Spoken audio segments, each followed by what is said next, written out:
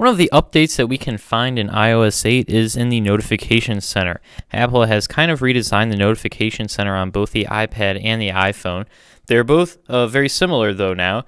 Uh, so as you can see, they first got rid of the missed tab that would appear next to notifications. There are now only two tabs, the Today tab and the Notifications tab. So first taking a look at the Today tab, uh, they added a small little graphic for your weather. So on my iPad, it shows up uh, partly cloudy. There's a little partly cloudy graphic. Uh, now on the iPhone, I it should show up there, but there must be a bug in the operating system uh, because it's not showing up for whatever reason. I'm not quite sure why. It says it's using my location services. Um, I'm assuming to get my weather, but I don't know why it's not showing up. Anyways, moving on. Uh, everything else about the Today tab is basically the same, except for one major feature that iOS users have been asking for for a long time, and that is widgets. So as you can see at the bottom, there is now an Edit button. Now, when you install uh, applications that will be compatible with this, if you hit that Edit button, uh, there will be an option to include widgets tied to applications that you have downloaded on your device.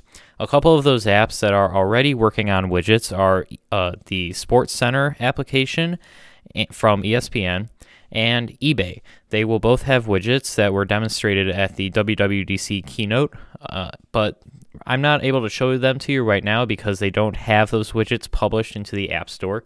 Uh, however, those are two widgets that you can expect to see.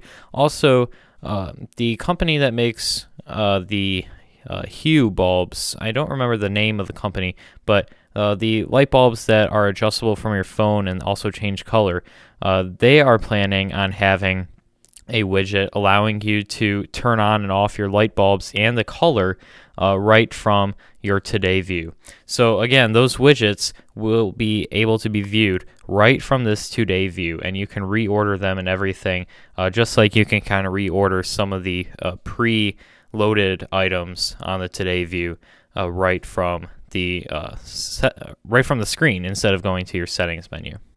So the rest of the things about the today view are basically the same.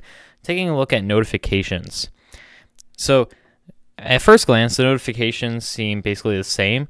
Uh, they've only really added one thing, and that is the ability to dismiss single notifications. So that's not really an issue over here on my phone, but on my iPad, uh, I have a lot of notifications for this one app, Guidebook, as you can see.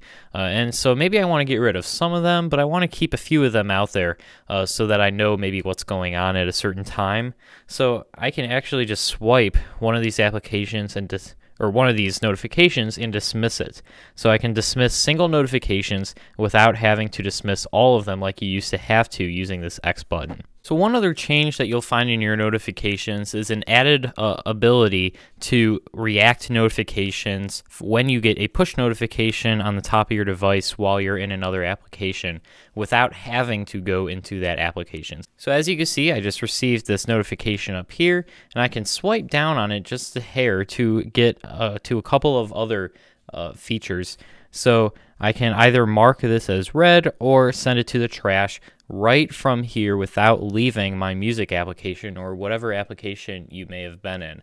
Uh, so I don't have to go to my mail app to do that. So if I know that this is uh, junk or if I know that I do want to go back to it later, I can react to those. So I don't want to read my test notification, so I'm just going to send it to trash right from there. Now this sort of thing will also work uh, for messages, you'll be able to swipe down from a message and you'll be able to respond to that message right from the notification without having to go to the Messages app.